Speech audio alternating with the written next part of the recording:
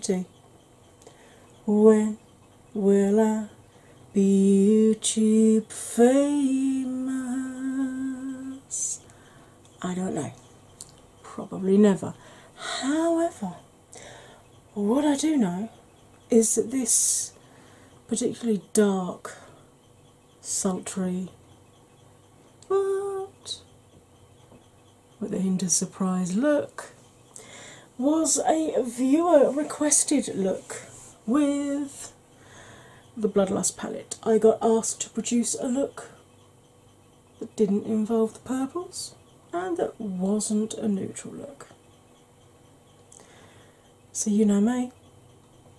Any chance to play with makeup? So, if you want to see exactly how I achieved this, how well or otherwise shadows performed, and discover why at one point I was looking a little bit like Alice Cooper from the Schools Out video, you're just going to have to keep watching to find out. Grab a drink, grab a snack, put your feet up, and get set for a roller coaster ride. Hey, welcome back from the intro. Uh, sorry if the lighting's a little weird, but it is not even seven o'clock in the morning yet.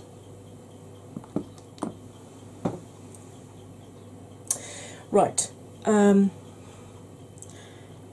I don't know yet whether I'm doing the intro in black and white or not, but I got asked to do my second look with this using non purples. Oh, yeah, by the way, I have a full set of talons again. Look, I'm fixed. I can poke myself in the eye with it again, which I did this morning in the shower. Marvellous. Um, also, it would appear that hay fever season has started already where I am because this eye keeps weeping and keeps feeling sticky. Lovely. So, if we get a watery eye situation over here, you're gonna have to bear with me. But I got asked to do a non purple look with this. So, okay then. Um, as always, this is a teaching channel, and by that virtue, I go at a speed that beginners can keep up with me. It also means that with my chronic pain, I don't kill myself. There's a speed widget up there. If I am going too slow for you, please feel free to use it. Right, uh, I'm going to insert now, or when I finish talking, I'm going to insert the clip where I talk through uh, the different eye shapes, the difference between deep set and hooded lids because they are often mistaken for one another. And the number of people I see say, Oh, I've got hooded lids, and I think, "Mm, No, you've got deep set eyes. And they moan that the hooded lid, the, the, the hooded lid workaround isn't working for them, and I'm like, No, that's because you've got deep set eyes. So, bit of a warning I will be very up close and personal when I do the eye talk through, and once I've done the eye talk through, I'll still be up close, but I'll be applying some colours this. Right, here's clip. Now, um, my eyes have this primer on it. This is the Crown Pebble primer in blank page cotton. I do have a discount code for this. It is not affiliated, I don't earn money from it, but if you use my code, you save I think it's 15%, and I earn pebbles that I can offset against future purchases from them. The reason I love the Chrome Pebble primer is because it's it goes on like a cream, but it has a powdery finish. So, unlike when you use a concealer or like a MAC paint pot, for example, you have the trade off between do I set it so I can blend easily, or do I leave it tacky so that I get the full impact of colour. You don't have that trade off with this, you can blend on it instantly and you don't lose any of the colour. Now, she does six different shades of this at the moment. White is the lightest, the deepest two are a chocolate brown and a black. Then there are three different skin tone shades as well, so you should be able to find one that will work for you. Um, I apply this with a flat brush, just a very light layer, and then I buff it over mm. with a fluffy blending brush to take any excess off and to make sure I've got a nice even layer across the eye. Now, I've got deep set eyes, so I get the same issues that people with hooded lids get. I get transference of colour onto the upper lid. If I'm cutting my crease, I have to cut onto the upper lid, not just through the socket. And if I'm using glitter, even with glitter glue, I get a bare patch in the middle. Because people with hooded lids get the same symptoms as people with deep set eyes, I see a lot of people with deep set eyes thinking they have hooded lids when they don't. So they follow the guidelines for hooded lids and wonder why their eyes still don't look right. So, I'm going to explain very easily for you how to tell the difference and what the two workarounds are. With my brows relaxed and looking straight forward, you can see all of my mobile lid from inner to outer corner. You can't see a lot of it, but you can see it. So I haven't got hooded lids. It's only if this upper lid comes down and completely covers part or all of the mobile lid that you have a full or a half hooded lid or what's known as a mono or an Asian eye. I'm going to demonstrate on this eye deep set eyes because this is the eye that I'm blind in, so I'll stay on screen and in focus. If I cover the visible mobile lid and close my eye, you can see I've got as much, if not more, lid that tucks back away out of sight.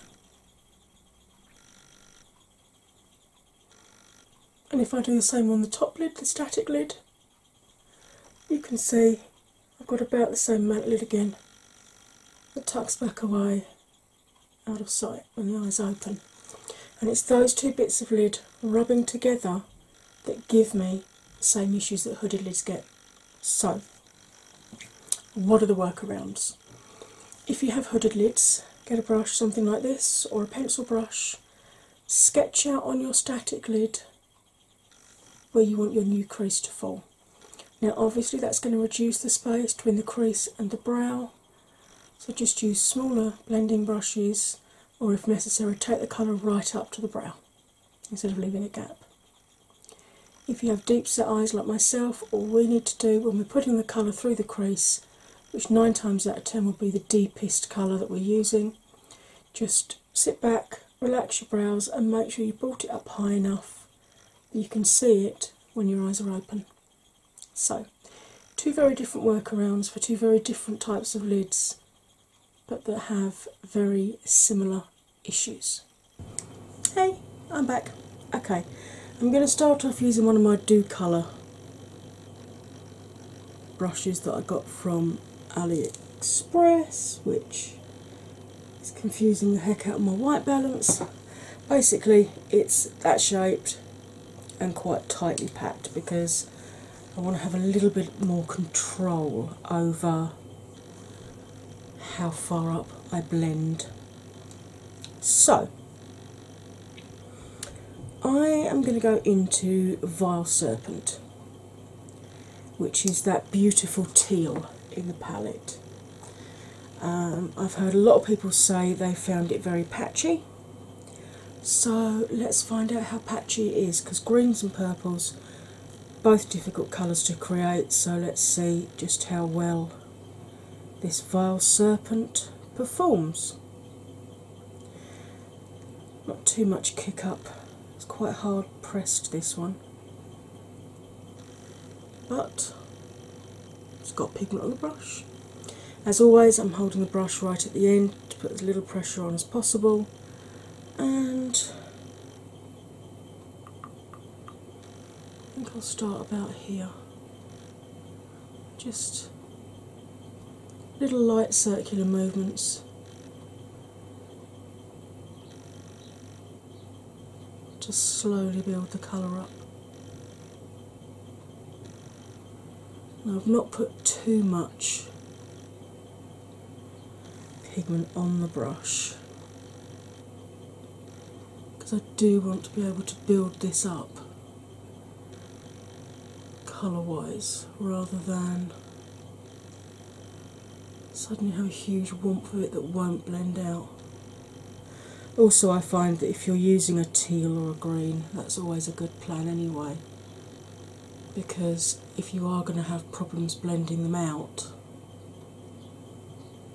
you have a better chance of being able to fix it and, and get a good blend if you've not got too much on the brush to start with. Now, as you've noticed, I do this direction going towards the nose and reverse the direction coming back. That's because I'm 45 years old, I've lost 14 stone, which is just under 200 pounds, or just over 200 pounds, and um, the skin on my eyelid moves. But I know, you know, 20 year olds who've always been slim that have looser eyelids. By doing the circular movement you're gently moving the skin around to try and prevent the barcoding effect that you can get. Now, I do struggle with my other eye because I have super, super deep creasing just here where my eye was pulled around as a kid at the ophthalmic hospital. So I do have to do a slightly different procedure that aside. This is proving to be quite a difficult shade to blend. It's not blending as easily as other greens that he's done in the past, the greens that he's done in the Alien palette, for example. Um, blended much, much, much easier than this. I'm really having to to work at this to get it to look how I want, but it is eventually doing it. bring that down at the edge a little bit there, I think. So, how's your day been? Has it been a good one? Or are you at the start of your day? Are you watching me over your breakfast? Are you doing your makeup while you're watching me? Because I tell you, if I if I'm doing my makeup and I'm not filming it, I have other films running on my phone from YouTube.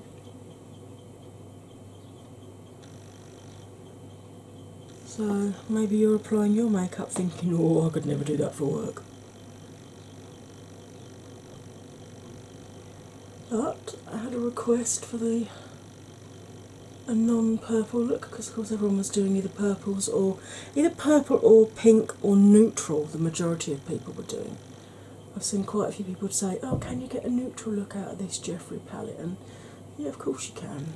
You know, if you use Deviant Royal Pain and Monarchy get very easy neutral look.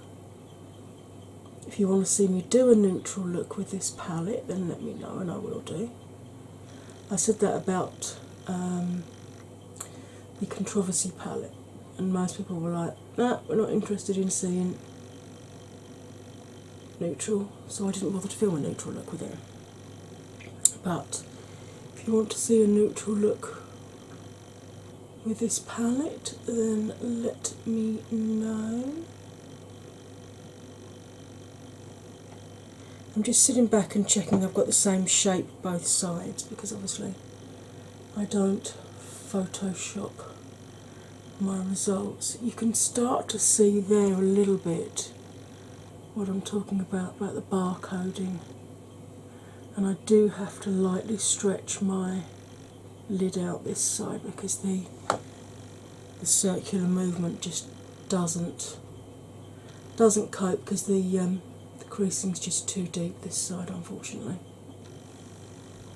Okay, bring this outer edge down a little bit.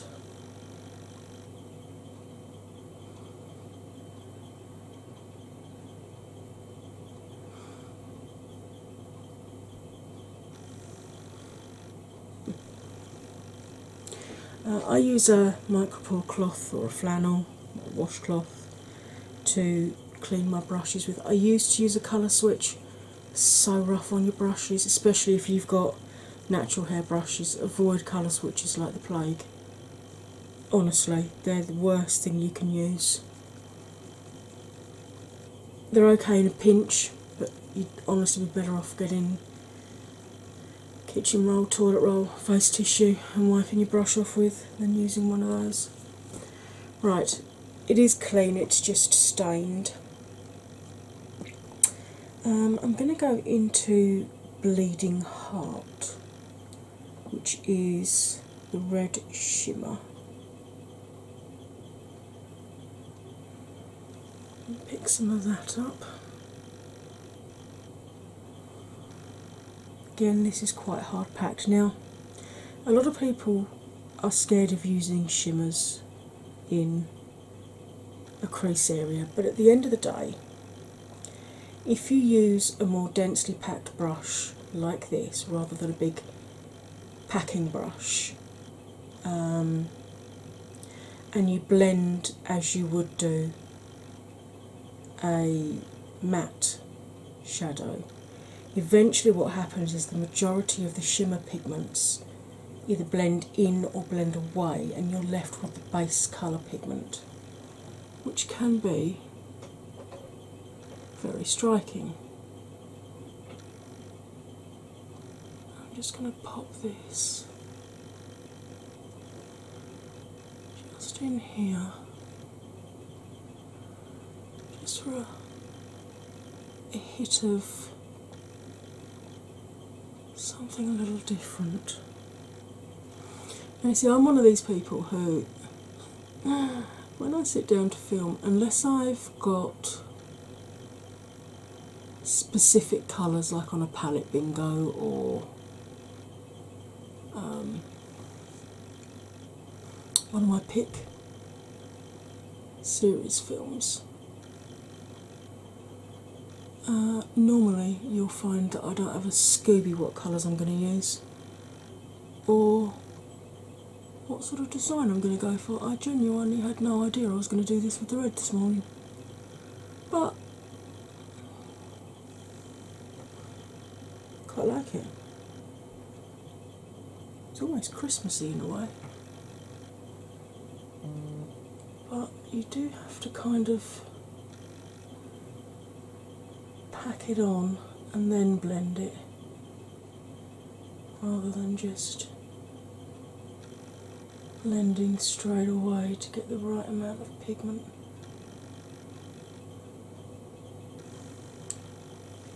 I really like that flash of red like that. It's almost like when you see a oh, breaking news, who's got the coronavirus now? Oh, interest rates in the UK being cut to shore up the economy because of the coronavirus. That's good. Means my mortgage payment should go down. That'll be for a few months. I'm tilting my head back to do this eye because obviously I'm blind in that one, so if I close this eye, I can't see where I'm placing the shadow. A little bit of a bit of a challenge that one. But this is like you know when you see like a, a a beautiful tropical bird suddenly lifts their wing and underneath they've got a bright flash, usually actually of either red or pink. It's kind of, I think, in the back of my mind the look I was going for today. Because with my deep set eyes, when my eyes are open, you don't really notice it that much till I blink or look down. I quite like that. And that red blended out very nicely indeed. But as with all Jeffree Reds, stains like a mofo because unlike a certain Jaclyn Hill and Morphe, if he says his products are vegan, they stay vegan. He doesn't suddenly change the formula and include carmine and not tell people. I've seen quite a few people complain actually that it's not just a it's not just a a choice thing with a lot of people that they they prefer um, vegan shadows. Some people are actually allergic to carmine.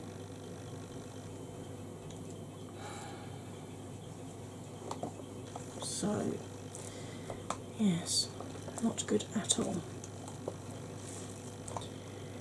Okay, I'm going to go in to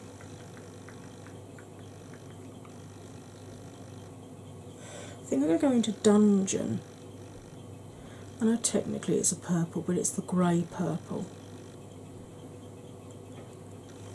I'm going to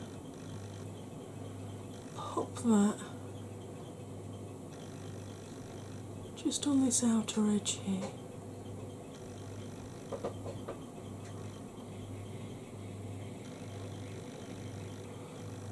And just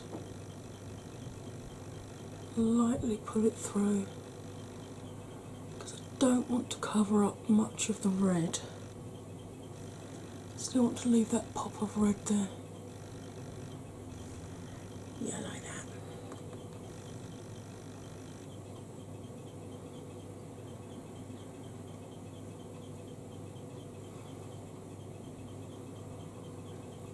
It's much easier to show you what I'm doing with this eye because obviously I can close it. That's why it's frustrating when this eye gets affected by hay fever because it is the eye that I prefer to show you the design on because I can show you it easier. And again, that's the tiger striping I was talking about.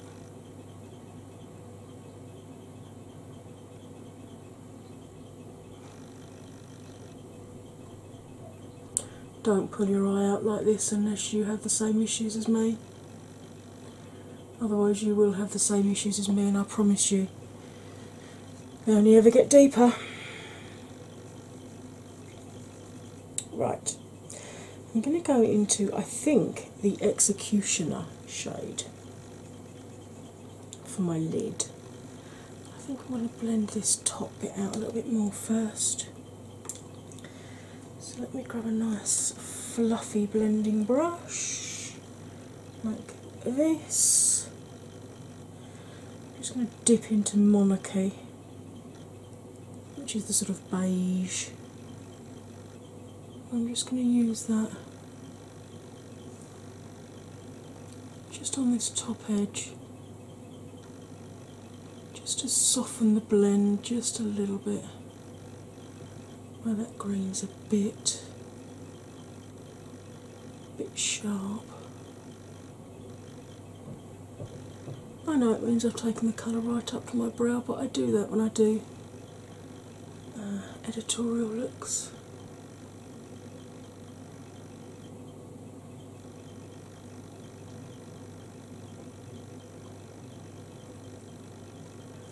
And sometimes just having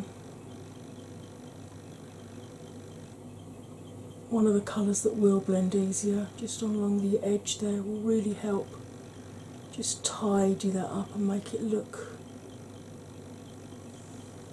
that's better that's much better. Right. So I have got my Jeffree Star lip brush. I'm going to go into Executioner once I've packed the pigment on the brush. I'm going to wet it with some of my Slay All Day in Jasmine. Now, normally I would use a cheaper spray to wet the pigment with, but for some reason Jasmine dries my jawline out, so I just save it for this. Now, Executioner is the the black with shimmer in, so I'm going to be interested to see how much of that purple shimmer actually transfers to the lid and stays there. The reason I like this lip brush is because you can get right into the corner of your eye.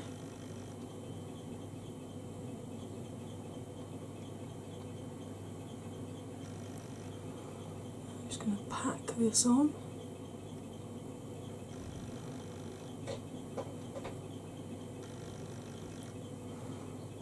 All the way across.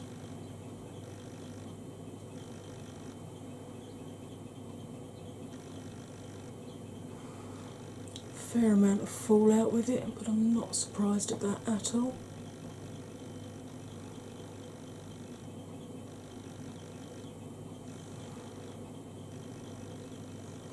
Okay. It's not bad. Just dry the brush off to go back in again and reload up with pigment to do the other eye.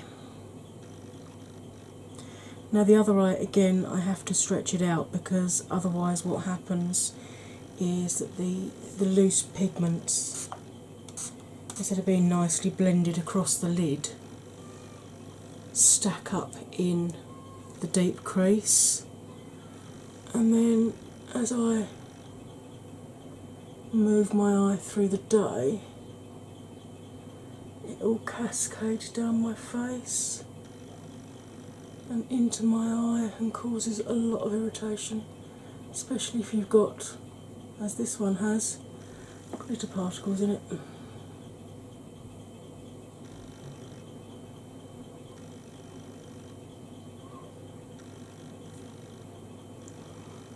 Dry that off. Oh, I think I've just got some glitter in my eye. Great. That'll help with the hay fever.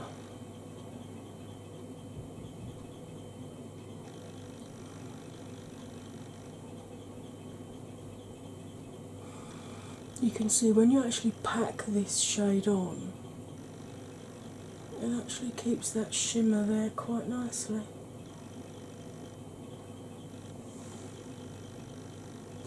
Right.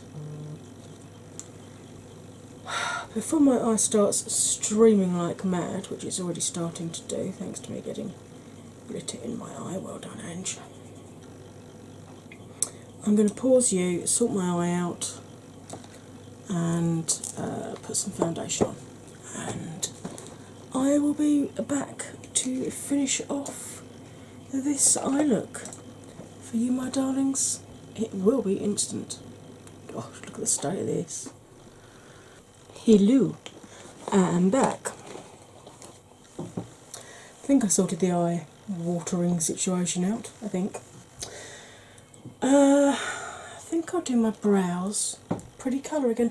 I have soaped them using the uh, Revolution soap brow thingy again. So this is the angled brow brush, and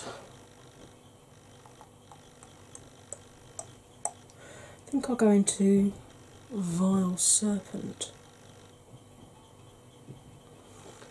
and start about there in the brow.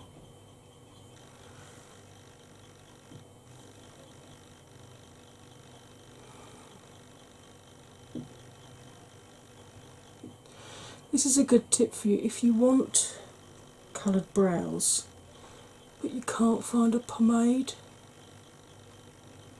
the shade that you want. You can just use eyeshadow powder, but you will need something to hold it in during the day. So I tend to do mine with the the soap brow, so it sort of sticks to the sticky soap before the sticky soap is set. That was a lot of S's. Um, but you could also use like a clear mascara or a brow setting gel or just hairspray on a clean spoolie. Which not being funny, that's what I used to use in the in the eighties. So but it is a great way of making sure that your brows absolutely match the look that you have created. As you can see from that, I hope. Um, basically, as soon as I got all of the glitter out of my eye, my eye stopped watering. So it was literally just because I'd got glitter in my eye that it was an issue. It wasn't the shadow causing the problem, it was my ineptitude of getting it in my eye, which was the problem. Uh, I'm going to go into Vile Serpent with this flat top brush again. Shall I go into that or shall I go into Dungeon? Might go into Dungeon actually. Having done Vile Serpent on the brows. Let's just slide that. I've always had very, very watery eyes. I've never been able to keep anything in my waterline for long. Um, if you see any photos of me with stuff in my waterline, you can bet your bottom dollar that as soon as the photos were done, my eye was streaming so badly I had to take it back off again. Um, so if you struggle the same way, then just smoke out your lower lash line like I'm doing. You still get the same emphasis of colour, but without the irritation on your lens.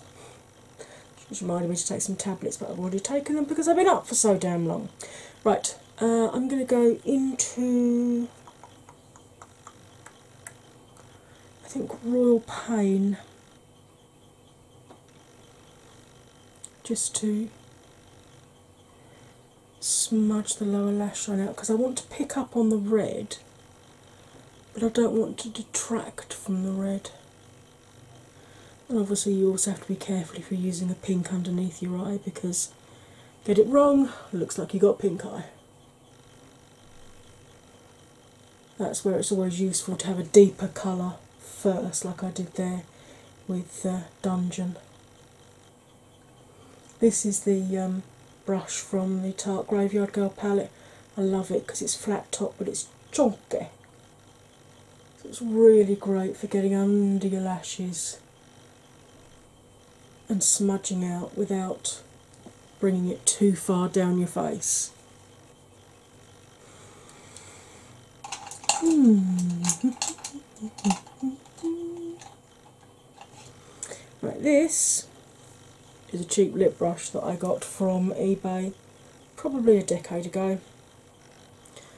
I'm going to go into Your Majesty initially, which is the creamy white matte. I'm just going to run that under the tail of the brow because obviously, where I took um, Monarchy up to there, just want to add a little bit of brightness back in before I pop any colourful shade on top.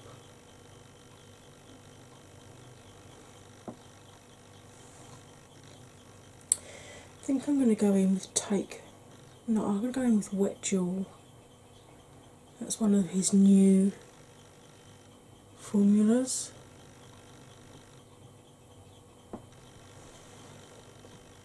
Which does not like picking up on this sort of brush.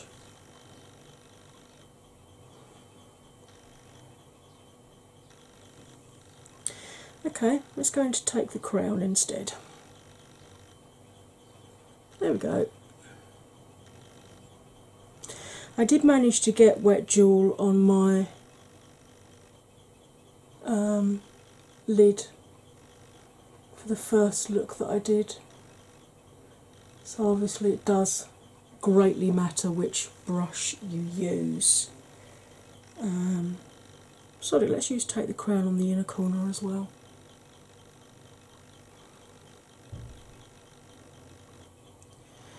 And I'll just bring that down and blend it in with the colours that I've got underneath my eye.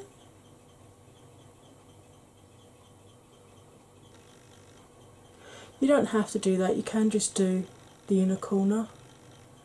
But with my eye shape, I like to bring it down like that, I just think it helps finish the eye shape off nicely. Right, I'm going to pause you for one last time while I chuck some highlight on, some mascara, some lipstick, do something with my hair, and I'll be back with my final, not purple, except for the accents. Look, don't go anywhere, it'll be instant for you again. I am back. I thought with such a dark gothicy look, I'd go for a lighter lipstick.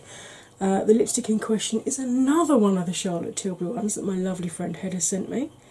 Uh, this is Bosworth's Beauty, so Kate Bosworth. Um, absolutely love these lipsticks. The highlight is this this side, the this side of the Pixi uh, Subtle Sunrise duo. Mascara is my usual Revolution Cannabis Sativa, bless you, neighbour. Uh, again, I love that mascara, but if you've got small eyes, it's got a massive brush. So, there we go. There is my non purple, except for the little highlighty bits. Look with the Bloodlust palette as requested. As I said, if you want to see me do a neutral look with this, or there are any other specific shades you want to see me use, then let me know and I'll be happy to produce a look for you. I really hope you enjoyed this. Uh, if it's not your eye style, well, can't please everybody all the time. Uh, if you're one of my 4F babies, please double check you are still subscribed. YouTube are still deleting people left and right, it's very frustrating. Uh, and don't forget to, even if you can't comment, please try and remember to hit the like button because apparently just having that interaction can make a difference as to how often or how many platforms your um, film gets recommended on. So that would be really helpful for me. Thank you. If you are new here, hi, hello, welcome. I hope you enjoyed it. If you got this far through the film, I guess there must be something about it you enjoyed. Even it was just seeing my eye run like Usain Bolt in the 100 metre final. It would be awesome if you too would like to join the madness and the friendliness that is the 4F family. We are the nicest group of people on YouTube. It's very easy to do that. You hit that subscribe button, turn it from red to grey, and then you ring the bell, and then you say you want all notifications, and then you confirm you want all notifications, and then hopefully YouTube will send you a notification for every four films that I put up. Speaking of which, I have an awful lot of films you can go and watch. Basically, pick a playlist, grab a drink and a snack, put your feet up, and indulge. Right, my lovelies, as ever, all that remains for me to say is you'll stay fabulous, and I will see you next time. Bye for now.